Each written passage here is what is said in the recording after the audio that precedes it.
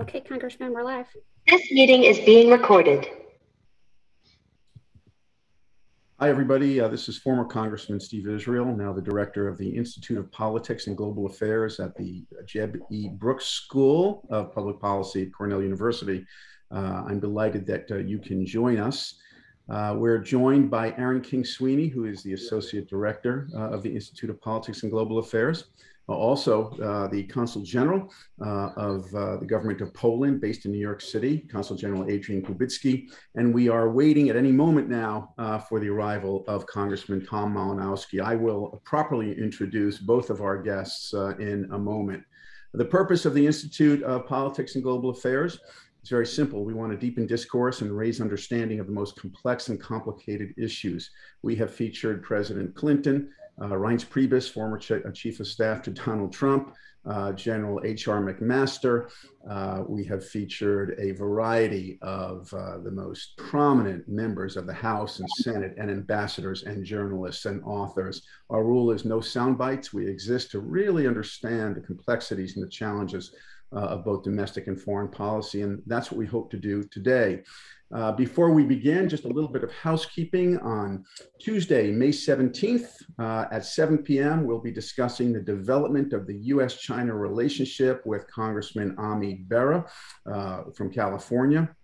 Uh, he has really specialized on this issue. He will uh, have a lot to say about the nature of, uh, of, of, the evolving relationship uh, and bilateral relations between the United States and China. And then on Tuesday, May 24th, something very special from 8.30 in the morning until 2, uh, we'll be convening our first State of Democracy Summit at the Cornell Club uh, in New York City. This is a live event, but there will be a virtual option. In this day, we will be uh, making an assessment of uh, the state of democracy uh, in the United States. We'll be looking at misinformation, disinformation, media manipulation with the foremost experts in the topic of special, uh, three very special components to this program. One will be Congressman Adam Schiff will be with us in person, providing uh, his perspectives on the state of democracy on Capitol Hill. Republican Congressman John Katko from Syracuse, New York, will also be with us live, uh, discussing his perspectives. And then we're going to release the results of a fascinating poll that we commissioned on American electoral attitudes towards democracy. The results of this poll were completely unexpected, uh, and we'll be sharing that. You can join us in person or you can join us virtually. As always, to register, go to our website.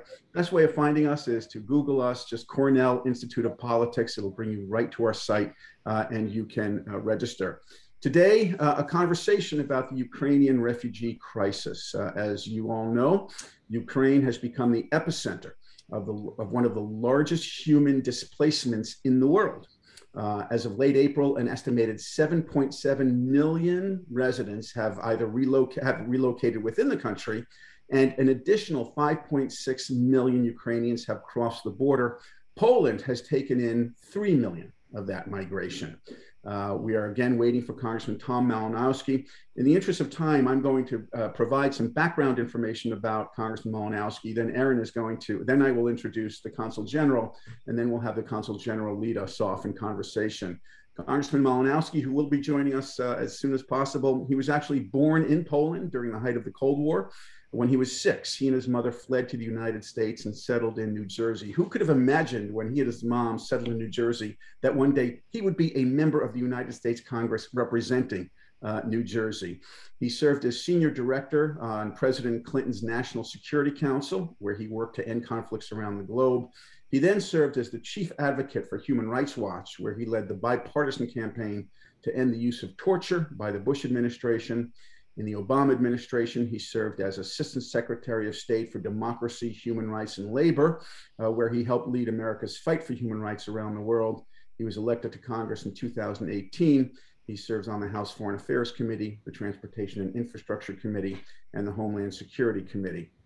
Consul General Adrian Kubicki assumed the post of Consul General of, of Poland in New York in March 2020. He joined the Polish Foreign Service and the Ministry of Foreign Affairs uh, in August of 2019, where he received the consular title and was appointed as, uh, to a four-year term as director of the Polish Cultural Institute in New York, part of Poland's diplomatic mission to the US, specializing in the field of public diplomacy.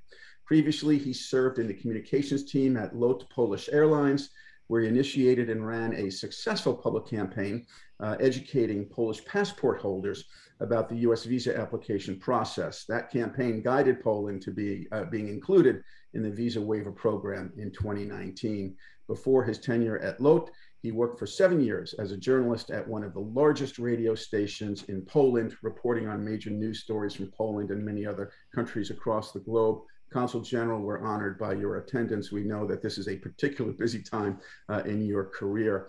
Let me, if I may, let me just lead it off with a uh, ask you to, to open it up uh, and give a share with us, if you would, uh, a picture from the ground, a view from the ground uh, on uh, what the status is of refugees, Ukrainian refugees in Poland, and other thoughts that you may have as we await Congressman Malinowski. Thank you very much. First of all, uh, thank you uh, for having me for this conversation. I think it's uh, utmost important uh, to uh, look a little bit deeper into the problem that seems to be the problem of our century, actually, uh, also by numbers in terms of how many people are fleeing the war in Ukraine right now uh, but also um, as the exercising uh, kind of a new approach to the refugee crisis um, as we speak. Interestingly enough, uh, we don't even use the term refugees. Obviously, this is something that is understood by most of the people. Uh, we call them guests. And this is the, this, this major distinction between the approach many other approaches in the past and this that is right now happening in Poland. Um, from the very beginning, um, the numbers are pretty high. Um, it was even up to 100,000 people a day crossing the Polish border. And, and with that, Poland uh, was accepting the Ukrainian refugees to the households, to, to the homes of the ordinary uh, Polish people who um, stood up very quickly after the war started, um, went to the border, uh, they're offered all kind of support to, to Ukrainians. And we are here somewhat three months after um, this, this tragic event started. Uh, we still proceed with the same approach. Um, however, with a little bit of the structure involved, uh, Poland, as a state of Poland, is offering the Ukrainian refugees uh, form of uh, being accommodated into Polish society by granting them something that is equivalent of social security number. Uh, Ukrainian children are accepted to Polish uh, school system. Already over 300,000 of, of, them uh, have been have been accepted to, to Polish schools. Um, Ukrainians are, are offered with jobs uh, that will help them to sustain uh, their lives in Poland as we expect not, not only for another weeks, but perhaps even for another months or, or years.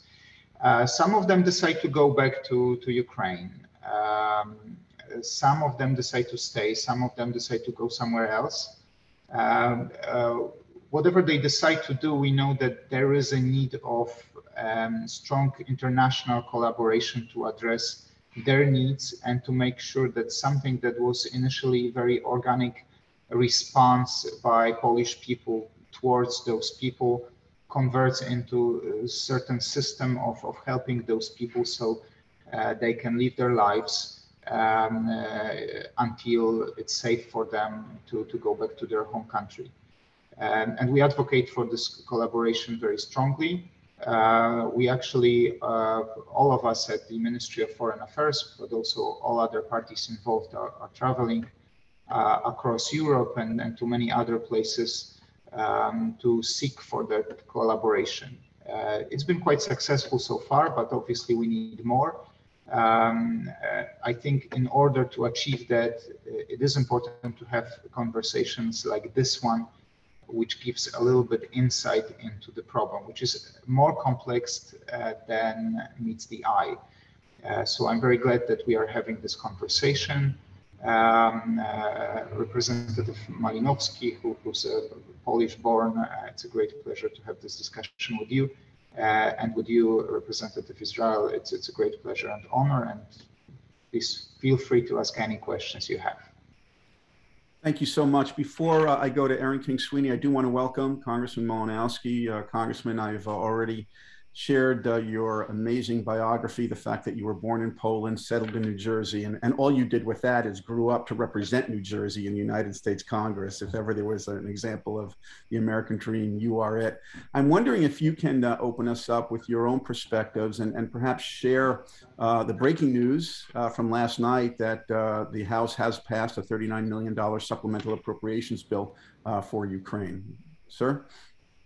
Thank you. Thank you so much, Steve. Great to see you, Consul General. Um, and, um, you know, I would say, uh, you know, a lot has changed, uh, Steve, since you left the House. Um, so it's actually a $39 billion, not million dollar. Oh, I, I thought I said billion. I'm sorry. Yeah. These days, you know, millions. uh, so yes, indeed, we did. Uh, we did pass that legislation.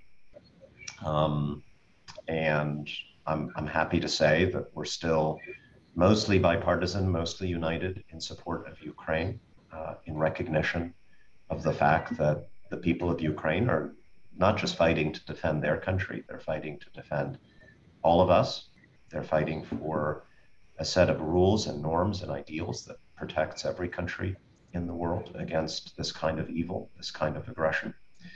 And um, I'm happy that the main thrust of our policy right now uh, is not um, uh, is helping them win. Um, in the meantime, we have to care for people and help uh, our allies, including Poland, care for people who are taking temporary refuge from the storm. But the main thrust, again, is is to ensure that um, Ukraine wins, that Ukrainian democracy survives, and that people can uh, go back and rebuild their their country. Uh, I'm incredibly moved, of course, as you can imagine, by what Poland is doing as the frontline state in in all of this. The the, the scale of what uh, the Polish people and the Polish government are attempting is is unprecedented.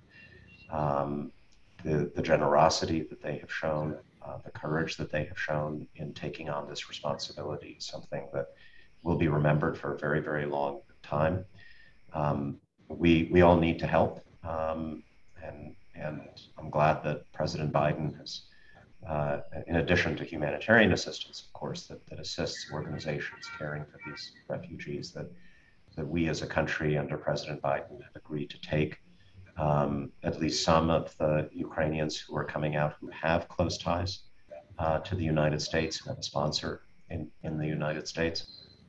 Um, but I would I would say finally that this is this is not a um, traditional refugee uh, crisis in, in the sense that the overwhelming majority of, of the people who are leaving Ukraine right now very much want to go back um, relatively soon. Uh, as we all know, they are mostly not complete families, they are women and children whose male relatives are still back home in Ukraine fighting. Um, unlike most of the world's refugees, these folks mostly are not seeking permanent resettlement. Um, formal refugee status leading to permanent resettlement in the United States or Western Europe. Uh, they, they want a place to shelter and be safe for a while um, until it's safe to go back. Um, so, again, our main emphasis right now has got to be on accelerating that day when it is safe for them to go back and, and to help them rebuild their country. One of the things that I've been working on that we passed in the House a couple of weeks ago um, is, uh, uh, is legislation that would enable um, the US government uh, and hopefully encourage other governments to um, actually seize uh, some of the Russian, the sanctioned Russian assets uh, that have been blocked and frozen around the world. Um, and then to use those assets um, to help the Ukrainian people rebuild their country. It's going to cost tens of billions of dollars, as we all know. We all know. I don't want to let a single $600 million yacht go to waste.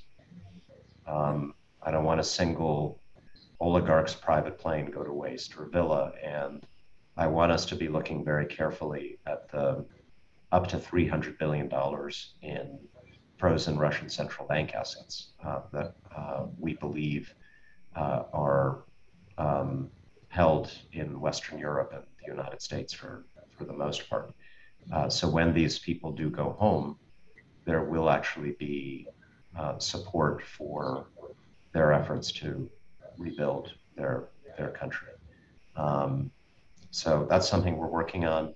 Biden administration has embraced the idea. They've proposed additional legislative language for us that um, that we are going to try to move, uh, hopefully sooner rather than later. So anyway, with all that, thank you guys. Great to see you.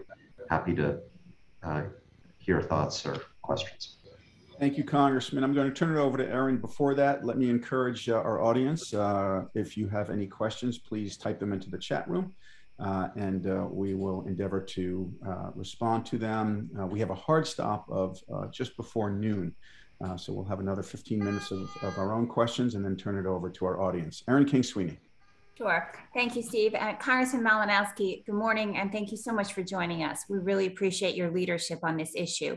As a Polish-born U.S. member of Congress, can you please talk to us about the personal side of the Ukrainian refugee crisis in Poland? What does it mean to you based on your experience? My, my experience leaving Poland was, uh, was very nice. I, uh, we were not running away from bullets and, and bombs. Um, it was uh, uh, my, my mother's intention in bringing me to the United States was very much in part to, to take me away from a communist dictatorship and give me the opportunity to grow up in the United States, but you know, we were not war refugees.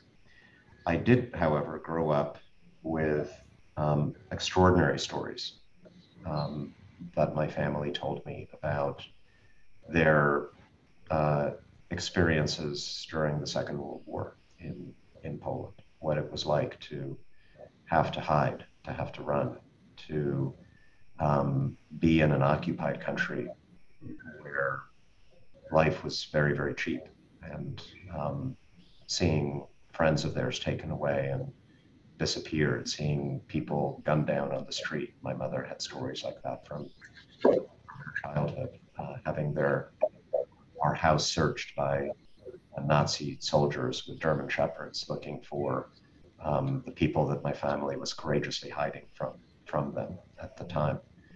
And those are the stories that that for me relate to what's what's happening right now. Um, we, we have a fight in Ukraine over some of the same questions that we thought were settled by the end of the Second World War. Um, it's being fought on some of the same geography. Um, the victims are people who are very much like the people I knew as a child uh, in, in, Poland, people very much like my family. And so I, I do feel a, a, sense of kinship and solidarity that comes from not so much my personal experience leaving Poland, but my family's experiences as relate to me uh, of enduring that horrific um, historical tragedy. Consul General, I'd like to ask you a question about your strategic and security posture. Um, Poland is in a very difficult position. Uh, it, it, has accepted the role of becoming a strategic hub uh, of Western aid to Ukraine, despite a vulnerable position bordering uh, a Russian missile base in uh, Kaliningrad to the north, uh, and then, of course, uh, Russian allied Belarus to the east. Uh, what security concerns do you have? And is there domestic political pressure to reduce Poland's role as this kind of logistics hub in view of potential uh, threats from the Russians or, or uh, uh, from Belarus?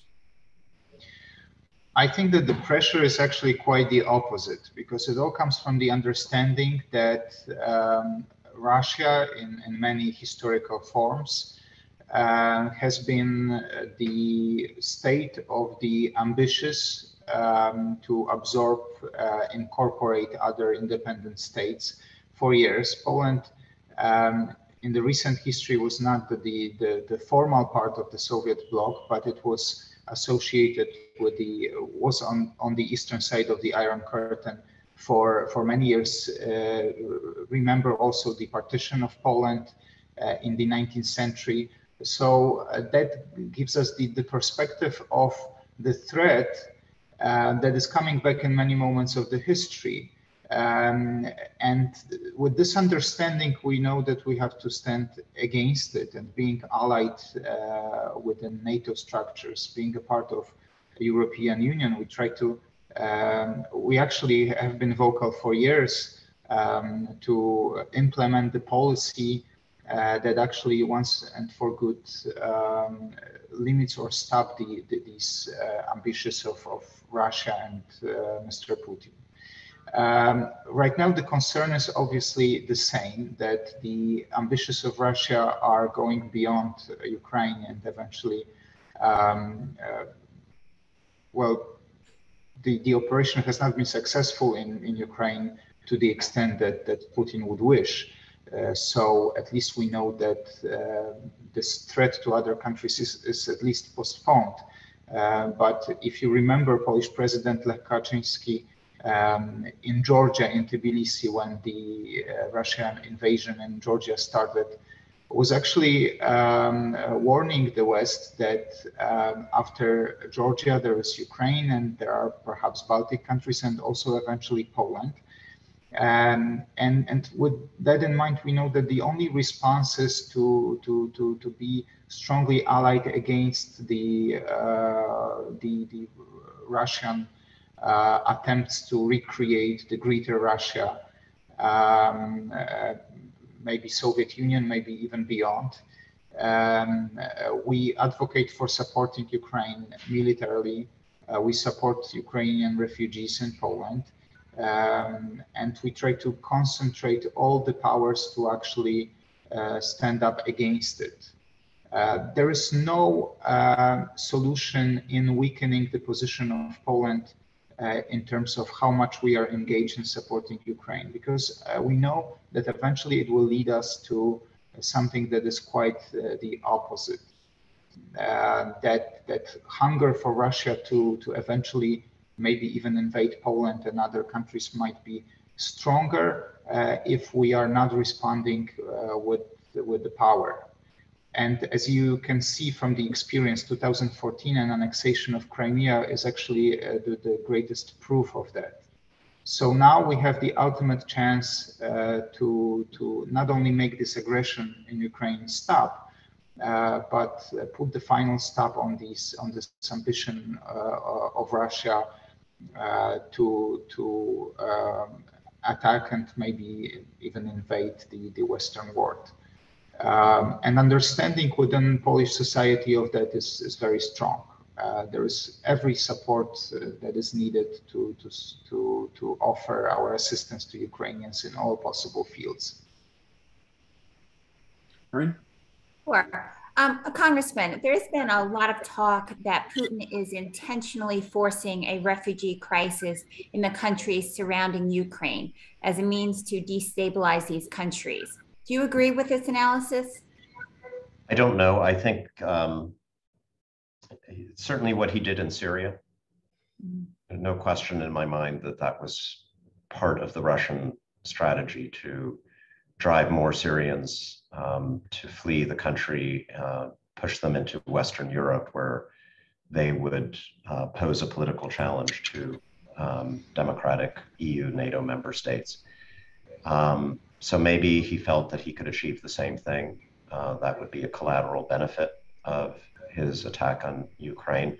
But the important thing is that it's failed.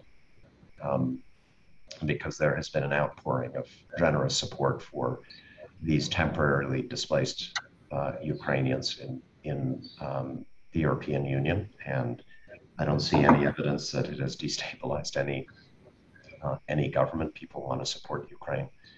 And uh, I think if, if, if that was his intention, it would just be one of uh, another one of his miscalculations.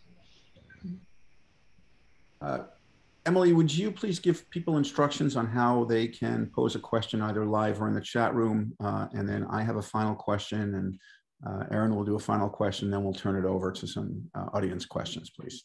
Sure. If you would like to ask our speakers a question, you can do so at the bottom of your screen in the Q&A function. Or if you would like to ask a question live, you can raise your hand and we can unmute you. Uh, one question, not a, not a not one statement, not a question from Felix Litvinsky. As a person from Ukraine and a proud American, thank you to the Polish people and Consul General Kubicki. Thank you uh, from our audience. Uh, Consul General, um, there was a story, I believe, on NBC uh, or MSNBC just uh, in the past uh, day that the number of volunteers in Poland has, has been sharply reduced. Uh, I guess my question is what, uh, for, for private American citizens who want to volunteer, want to do something to assist Ukrainians now in Poland, what can we do? What options do we have? What would you recommend? And what do you think that the American government should be doing moving forward to assist Poland through this period? First of all, uh, there are plenty of organizations, both international and, and, strictly Polish, working in the field, and they are seeking for, for any form of volunteer assistance. Uh, and we can help out. You can find that on many websites, but also you can reach out to our consulate to any of our posts here in the US uh, to find out what organizations are seeking for, for what particular uh, kind of help. Um, there are actually quite a significant, I'd say it's a significant number of people here from United States of America uh, doesn't have anything to do with Poland or Ukraine, and they, they are willing to go to Poland to, to assist with the refugees. So that's on the plus side. Obviously, uh, once the Ukraine subject gets a little bit off the front pages of the newspapers, it, it becomes a problem for us and the challenge for us how to keep up this engagement on the level from the first days of uh, wars. Um, and I, be, I, believe that this is a strong part of, of our jobs to, to, to keep this interest up because the war is not over. It might even convert into something that is more similar to a form of civic war rather than the regular invasion. We, we know that the Russians are not as successful as they were hoping uh, to be in the initial stage of, of, of the war, but it doesn't mean that they disappear. They're, they're still there. They are committing atrocities on Ukrainian people Ukrainian people are in need uh, everywhere, both in Ukraine and in other countries, including Poland. Poland as a state is, is doing a lot of efforts um, to meet with different counterparts, uh, discussing their engagement in terms of financing the, the help of, for Ukrainian people, for, for Ukrainian, uh, for, for displaced Ukrainian people. Um, I know that many organizations are doing the same thing. Um, uh, I think this is another form of the help that, that would be very much appreciated from, from the US private citizens if they were to help. There is many way to, to help financially if, if someone cannot come and help uh, on the spot. Um, so so there, there are a lot of ways to, to, to remain engaged. We, we, we try to keep up this engagement as much as possible. Another way to do it is to um, uh, any form of uh, showing that support to the Ukraine. I have to say that this is my private observation, but uh, also not only a number of, uh, of uh, volunteers is slightly declining, but also a number of Ukrainian flags that are displayed in many places. And this is very unfortunate. I think this, it doesn't cost us anything, but we should uh, show off this sympathy and support for, for Ukraine that helps other people also to understand that this subject is still very valid and, and this, this help is really required. We, we are also, uh, from the Polish perspective in Poland, uh, we're sort of moving from this first initial stage where many private people were engaged into helping Ukrainians into something which is more structured, more organized manner, because we know that as much as you're right, and some people are already going back to Ukraine to their families, some will stay around for a longer period of time. And we need a system and we need a structure uh, provided by this state of Poland, but also in a collaboration with our allies to provide uh, sustainable help for, for, for these displaced people for a longer period of time. And here we really strongly count on a collaboration uh, with U.S. administration. We appreciate the decision of accepting 100,000 um, uh, Ukrainians into United States uh, um, in anytime soon. We're working in, by the way, with New York City very closely uh, on organizing that for probably majority of these people. Most of them will come at least initially to New York City. So, uh, so there is a lot of work uh, going on, uh, but we hope this number can be increased. By the way, 100,000 uh, people is a good start. But as you mentioned in the beginning, we are now at the level of 3.2 million people only in Poland, not mentioning other hundreds of thousands in, in, in other places.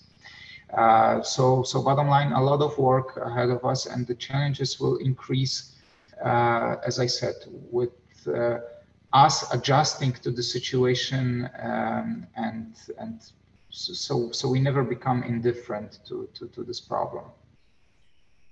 We have quite a number of questions and only about 20 minutes left uh, in this conversation. Erin, why don't you uh, pose the final question to the congressman and then we'll open it up. Sure. Um, Congress seems mostly unified in its support for humanitarian and military assistance for Ukraine.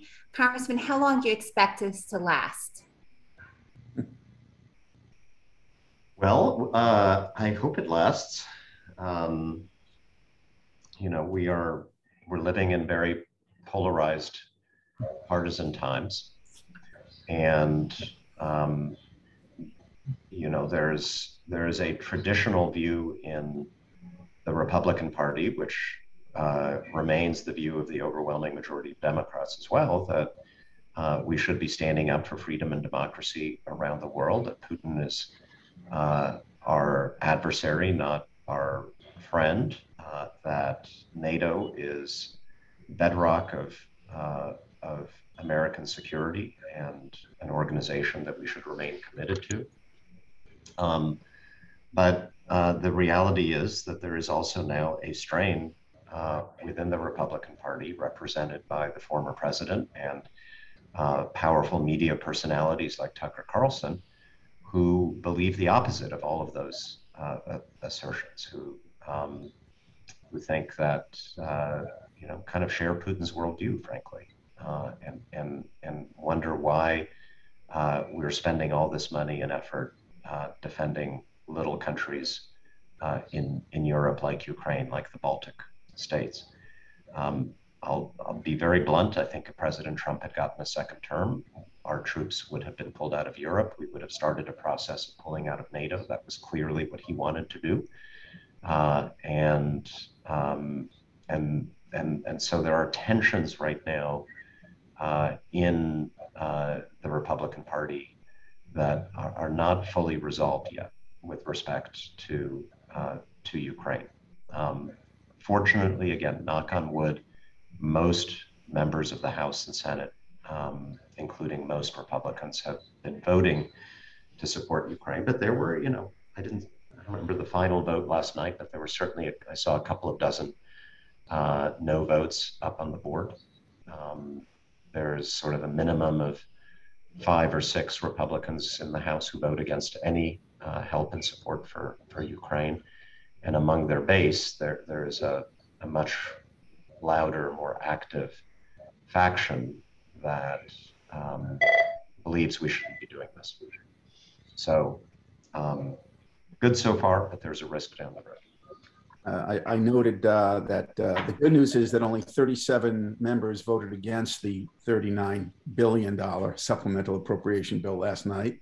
The bad news was 39 members of Congress voted against the 39, the 37 members of Congress voted against the bill. It, uh, it, it, I, I, agree with the congressman that there does seem to be these uh, internal tensions that are creating a bit of a drift. Well, why don't we uh, go to uh, some questions and answers? Uh, Emily, do you want to please share one more time instructions on how to ask a question, and then I'll start reading some off? Sure, you can do so by typing in at the bottom of your screen using the Q&A function, or if you would like to ask a question live, you can raise your hand and we will unmute you. Okay, Emily, I'm going to allow you to control the live unmuting. Let me just uh, read from the chat room. Uh, Joanna Soruk, uh, there is an article in the Wall Street Journal today about the revival of bomb shelters in Poland Is Poland preparing for a potential conflict reaching their borders? Consul General? I'd say that um, it's hard for me to say, but as much as we must be prepared for the war and for the further escalation, uh, building this pressure and and kind of keeping this this threat alive that it might be a traditional invasion of Poland is unfortunately part of something that is maybe extended part of, of uh, Russian propaganda.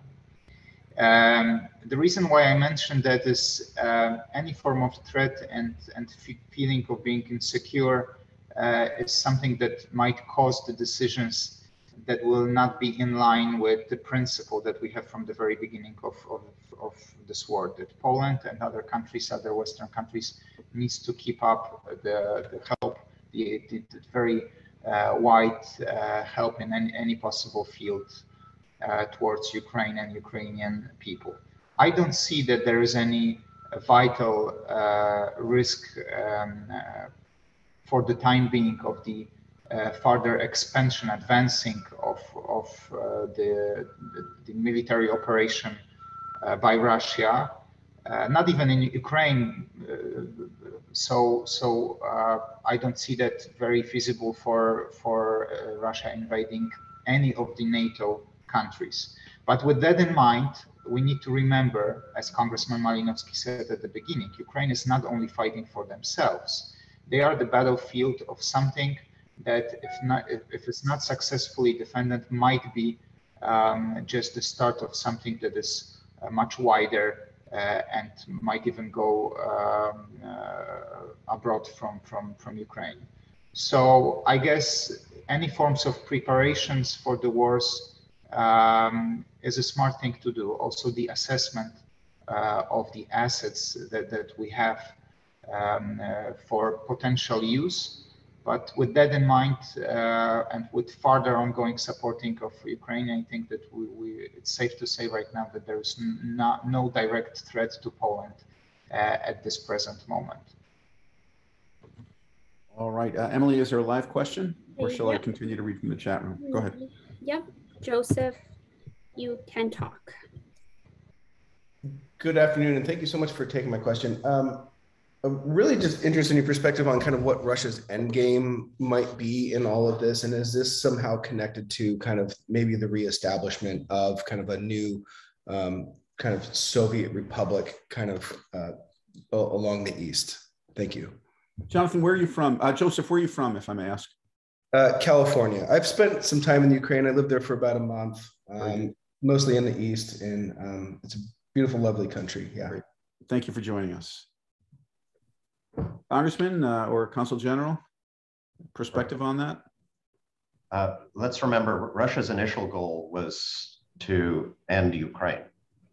It was to uh, capture the capital of Kiev and other major cities um, to overthrow the Ukrainian government, replace it with uh, puppet loyalists of, uh, of Putin. And Russia failed in that, uh, achieving that initial goal. They were defeated uh, in the Battle of Kiev. Uh, they were pushed back from most of the cities that they were uh, besieging, with the exception of the, the, the most dramatic exception of Mariupol. Um, and so now they, yes, have these revised um, ambitions, which appear to be uh, involve um, uh, conquering and defending an expanded version of the enclave that they already controlled in eastern Ukraine from the beginning of the war in, in 2014, um, including a land bridge connecting Russia uh, with, uh, with Crimea. Um, I guess it remains to be seen whether Putin will try to formally annex these territories in, into Russia. Uh, that he hasn't actually secured them yet. Um, the Ukrainians have made a lot of gains in just the last few days in taking back territory in the east that uh, that the Russians had taken early on uh, in the war, uh, and um, the military balance I think is shifting gradually in in Ukraine's favor. Um, you know, it, uh, you, we, we went into this war thinking that Russia had the second best army in the world. And now it's pretty clear that they have the second best army in Ukraine. And the Ukrainian military is getting stronger by the day because of the, uh, the weapons and training it's receiving from NATO countries.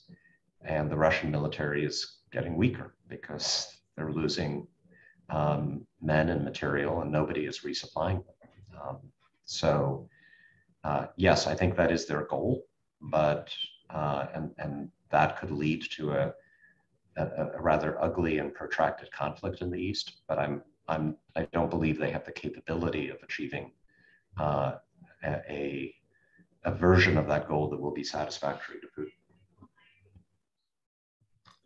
Emily. Okay, Gabrielle, you have permission to speak.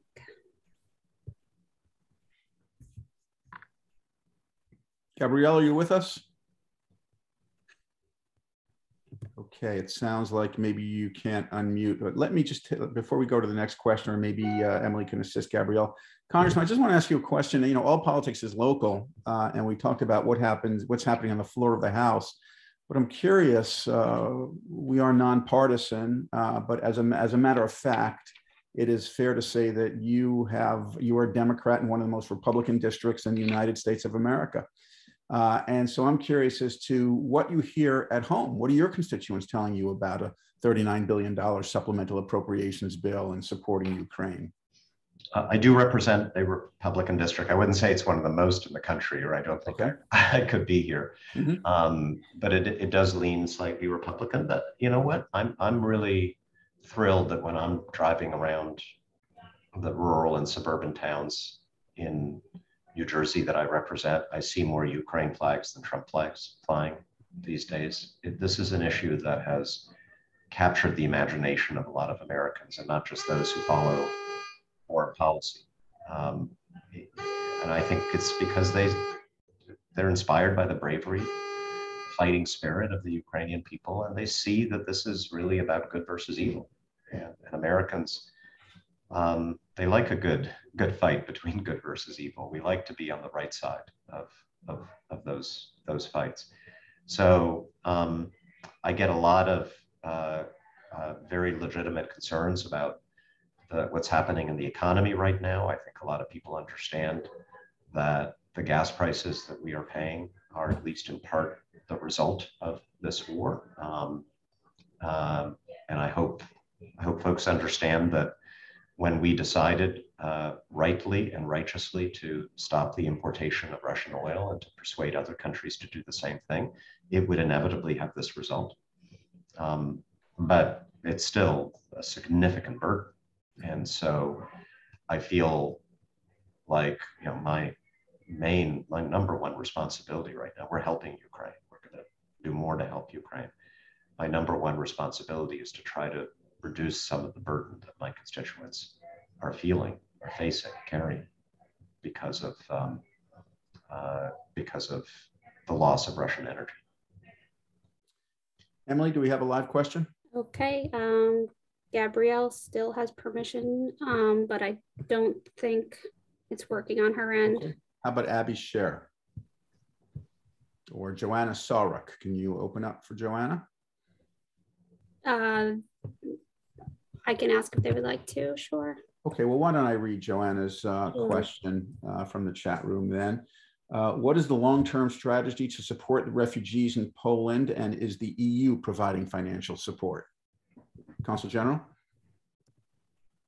Uh, EU has agreed obviously to, to provide the financial assistance. We are working on the uh, kind of logistics of that uh, we encourage to to provide obviously uh, more of that assistance as we see that this uh, situation will not uh, end within next weeks will rather be something that we have to be concerned of uh, for, for another months.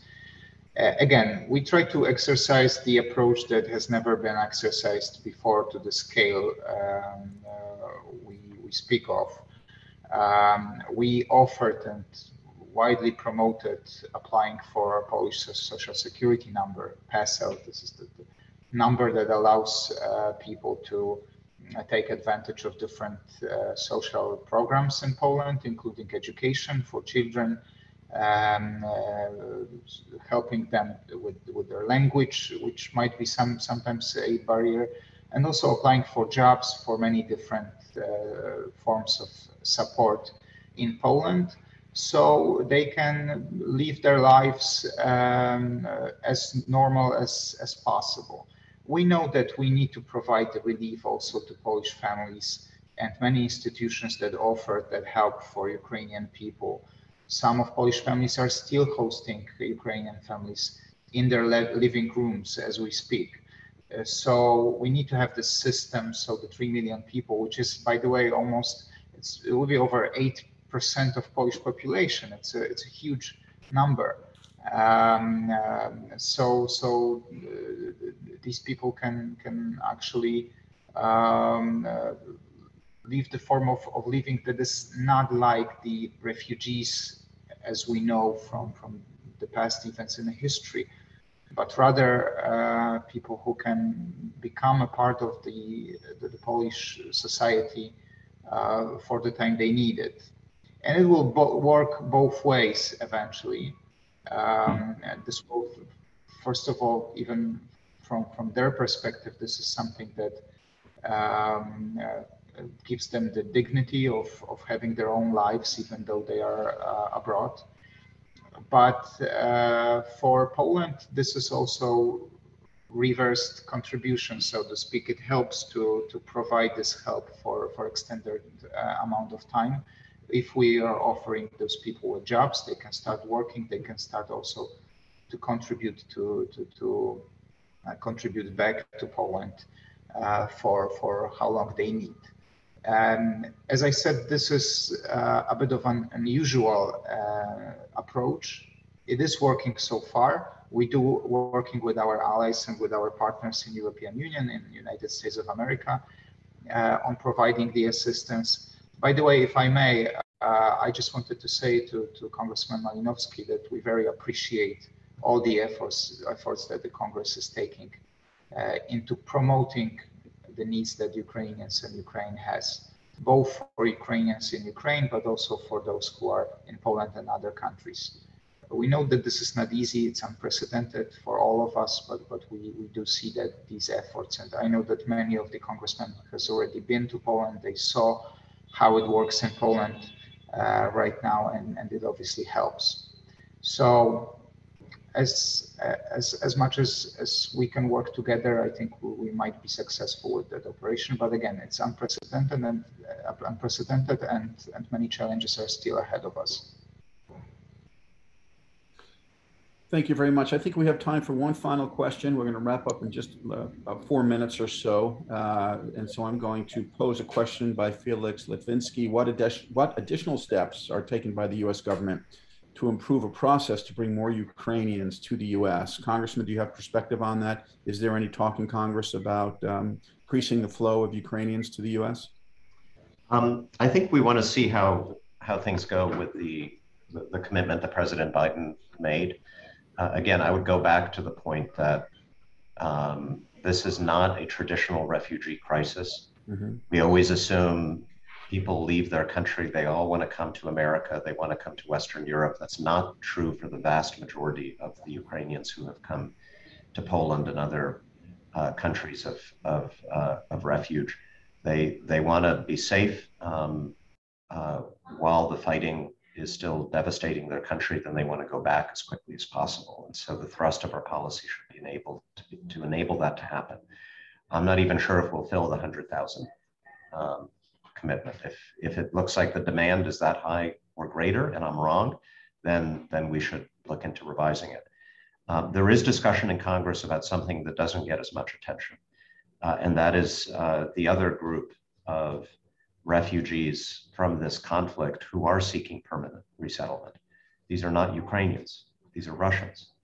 Tens of thousands of Russians have, uh, have been leaving their country because they cannot tolerate life under the increasingly totalitarian war regime that Putin is imposing on that country. They happen to be, in many cases, the best and brightest people in Russia. They're scientists and engineers. They're, they're uh, artists. They, they, they are uh, people with enormous talent, uh, entrepreneurs, um, not oligarchs, but, but people who could actually contribute a great deal uh, to us if we were willing to make Putin's loss our gain. And so the administration has proposed um, uh, creating an easier pathway for some of these Russians with significant skills to come to the United States.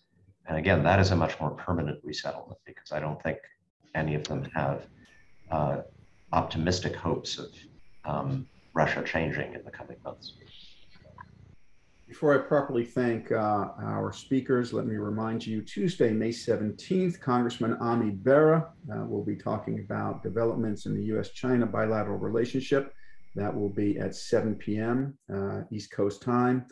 Tuesday, May 24th, Congressman Adam Schiff, Congressman John Katko, uh, a panel of pollsters uh, and experts on misinformation, disinformation, and media manipulation at the Cornell University Brooks Institute of uh, Politics and Global Affairs, first ever uh, Summit on Solutions for Democracy. That will be at the Cornell Club in New York City, but there will be a virtual option. We will be sharing the results of a fascinating uh, and, and unpredictable poll that we just commissioned on electoral attitudes towards democracy, particularly in battleground congressional districts. Again, that is Tuesday, May 24th. You can register on our website, just Google or Bing Cornell Institute of Politics. Congressman Malinowski and Consul General Kubicki, thank you for your leadership. Uh, you, this uh, arguably a very busy time for both of you, uh, but you chose to share close to an hour with uh, Cornell University. And for that, we're deeply grateful. We hope that we will see you soon. Thank you to both gentlemen. Thank you. Uh, and with that, we wish everybody good health. So long, everybody. Thank you.